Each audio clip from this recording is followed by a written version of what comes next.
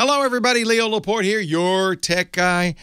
The case of the malicious PDF next. Ask the Tech Guy comes to you from Twit's LastPass Studios. You're focused on security, but are your employees? LastPass can ensure they are by making access and authentication seamless. Whether employees are working in the office or remotely, visit lastpass.com slash twit to learn more. This is Twit.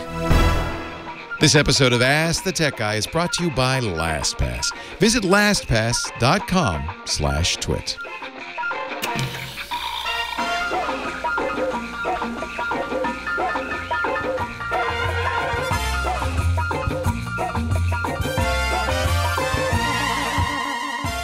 Hello, everybody. Uh, happy Monday to you. Hope you're having a or had a great weekend. Hope you're going to have a wonderful week. Little reminder tomorrow is election day. Want you all to go out and cast your vote if you haven't already. Uh, I know it's a little scary sometimes to head out of the house, but put your mask on, your goggles if you need it, and head out to your local polling place. It is a privilege. We're so lucky in this country that we get to vote. Uh, and it's a privilege that I want to encourage each and every one of you to take advantage of if you can. Um, I got an email from Ed. He said, Leo, this is rather strange. A guy came out to give me an estimate for a new furnace, reputable company. They just installed a new water heater. He sent me an email with a PDF of the quote for the installation. After I downloaded it, my Norton antivirus said that a script that could enable malware had been removed from the PDF. I, I guess it was sanitizing it. My question is, was the sender maliciously responsible for placing the script on the PDF? And if if if that's the case, I, I guess I should bring it to the company as well as him, or could there be an innocent explanation for this? Thanks for any insight. Ed, there are a lot of explanations for this, so I'll give you the whole realm of possibilities here. I can't tell you for sure what happened, but here's some of the things that could have happened. First, a explanation for those of you who don't know, it's a PDF stands for Portable Document Format. It was a document format originally created by Adobe, but it's now kind of open and available, and there are lots of PDF creation tools and PDF reading tools. The advantage of a PDF, it's really good for things like invoices, tax returns, any kind of form, because you can create it and preserve the layout. Essentially, unlike a Word document, a word processing document, it's a picture of the document. So with anything with fields and forms and layout, it's going to look exactly like it looks on your computer on everybody else's computer. That's the portability part. It can be taken anywhere and it will look the same. PDFs have additional format uh, or features rather. You sometimes there are forms that you can fill out, stamp your signature on it, things like that. But it's often used as kind of, and I think it's better to use, frankly, than say a Microsoft Word document for sending out things like invoices. You're you can be pretty sure that no matter what kind of computer, even on a phone that your customer's using, they can read PDFs. For a long time, you had to download a PDF reader. In most cases, it was Adobe's Acrobat Reader on your Windows machine to read PDFs. That's not even true anymore.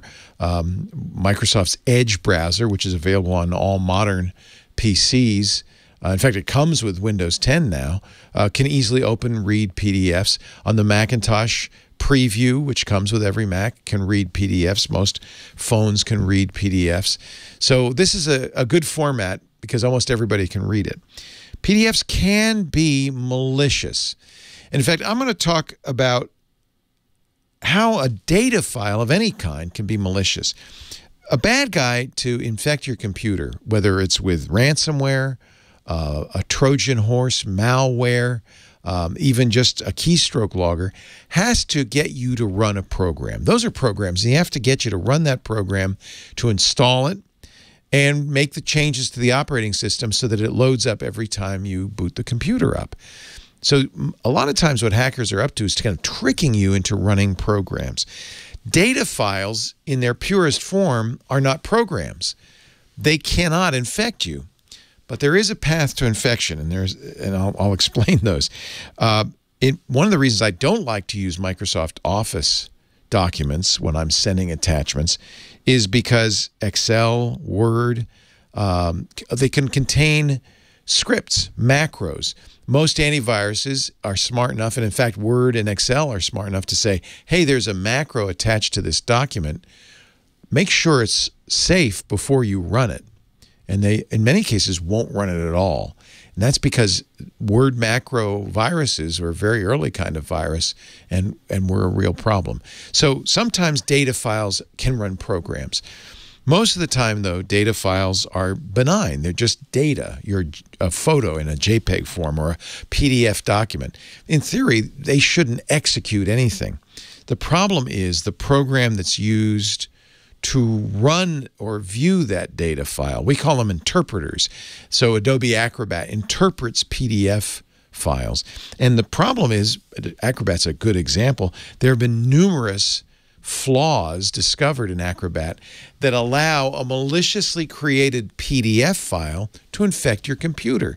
It takes advantage of the fact that Acrobat is a program, Reader is a program, and the PDF file can give that program instructions, which it then interprets and runs and infects your computer. So in general, interpreters are potentially risky, and they have to, we have to be very carefully crafted so as not to allow a data file to infect them. Similarly, a JPEG by itself is harmless, but if you had a JPEG viewing program, and this has happened as well, that had a flaw in it, and the bad guys knew what that flaw was, they could craft a malicious JPEG, a malicious image file that by itself is harmless, but when read with that particular buggy program could become malicious. So it's not really the case that you can say data files are safe.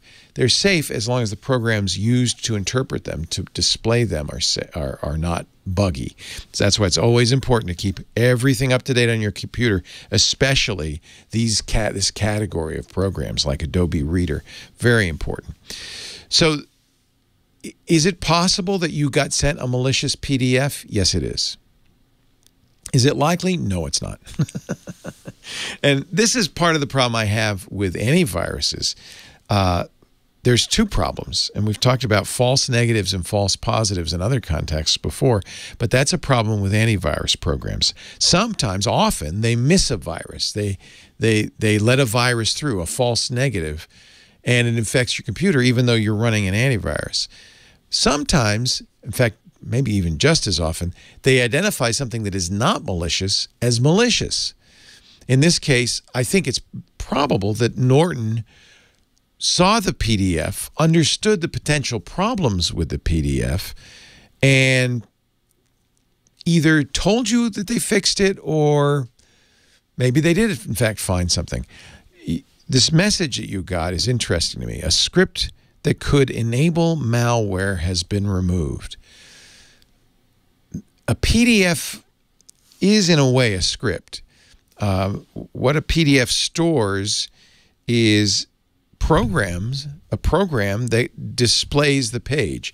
Uh, the program used to be in PostScript, then display PostScript, and now it's in its own kind of format, but it's actually a program. So it is conceivable that a PDF when executed improperly by a program that allows it, could could have a malware, as I mentioned.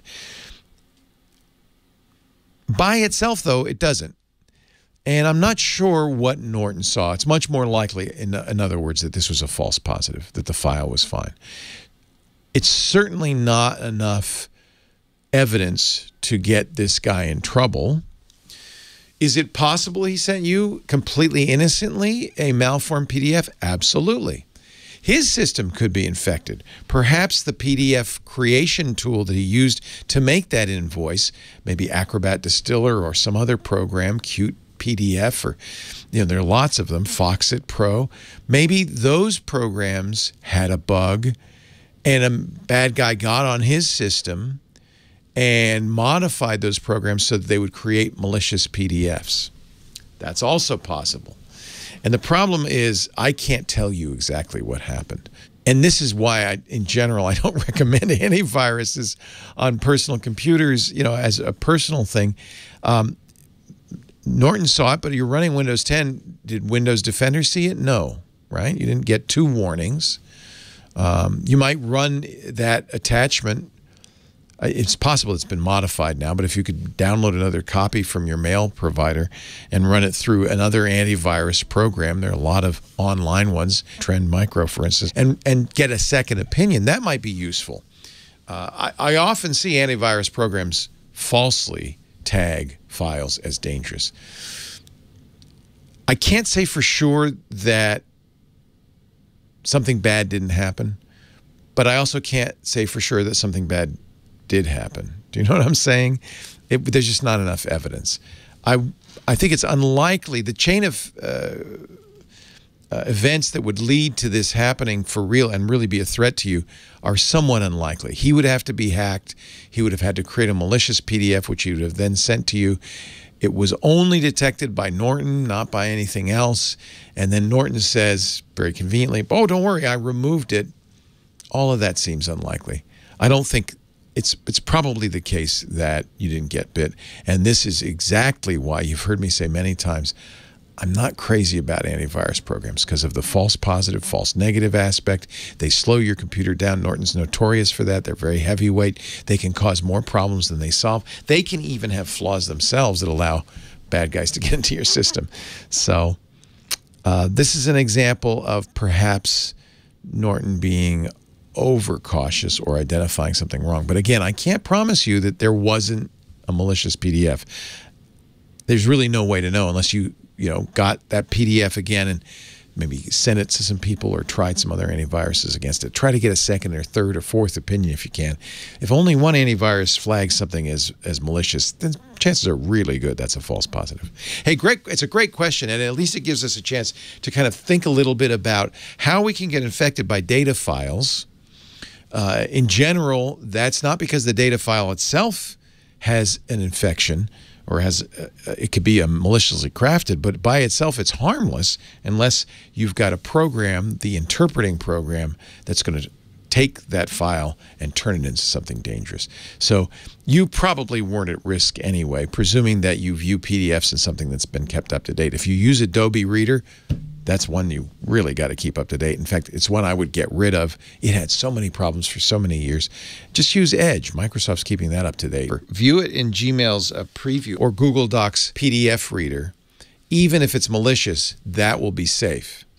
Uh, thanks for the question. I didn't maybe uh, cut to the chase and solve it for you, but at least I gave you some more information. Uh, and it's a good thing for us to know about, right? It's why, by the way, I always say don't send attachments. Uh, and that might be the message to give your furnace guy is, hey, I got this attachment. Whether it's true or not, Norton said it was malicious. I don't think it was. But, you know, sending email attachments is a bad idea anyway. Uh, there might be a better way you can do this, and I'm sure he can find a better way to do it. Maybe make a website, for instance, with the with the invoice on it. Our show today brought to you by LastPass. Security is a big topic, isn't it? LastPass can help you manage identities and promote good security behaviors at this difficult time when many employees are remote. You want your employees to have secure password storage. LastPass gives them their own vault for storing every app and web login they use. So employees always have their passwords with them and can gain access from anywhere, from any device. Rest easy knowing your business is safe. With LastPass, visit lastpass.com slash twit to find out how they can help you. That's lastpass.com slash twit. And that's Ask the Tech Guy for this Monday. If you've got a question for me, your tech guy, just email Ask the Tech Guy at twit.tv. Don't forget to vote, and I'll see you next week. Bye-bye. Stumped on a nasty tech conundrum? Email Ask the Tech Guy at twit.tv.